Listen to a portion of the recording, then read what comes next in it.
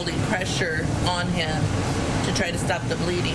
Before the 35 year old man could get up the stairs to his apartment, Kim Spriggs says he had to rest on the handrail, dying in front of her family's eyes. This whole area right here was a crime scene. I know that they were looking for an exit wound when they were here. I have a son who's in the Marines, and I expect something to happen there.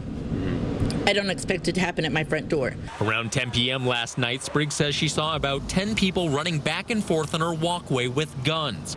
Her husband helped care for her upstairs neighbor, shot up to two times in the back until an ambulance brought him to SAMC in critical condition. Shootings are a pretty normal thing around here. Um, it was just a little, hit a little close to home because it was right here at our front door most of the time they happen in the back. Se andaban peleando, se andaban este, agarrando balazos allá. Jose Salazar says he saw the group of men fighting and shooting at each other at the southeast side apartment complex off South Cross. Two others went to Northeast Baptist Hospital, one shot in the leg, the other in the chest. Both are under arrest. One is 20 year old Jodeci Clayton, who is charged with aggravated assault with a deadly weapon. Police say this started when the victim broke up a fight between two girls.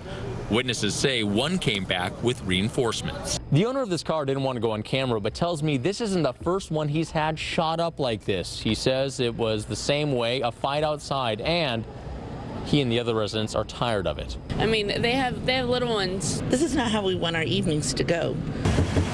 Knocking on the man's door, no one is home, but you can tell we found it. Josh Skurnik, KSAT 12 News.